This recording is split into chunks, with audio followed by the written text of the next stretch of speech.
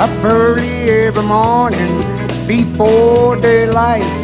You can always see her down at the traffic light, taking those kids back and forth to school, trying to teach them the golden rule.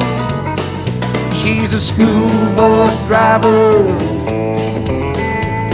a school bus driver. She's a school bus driver.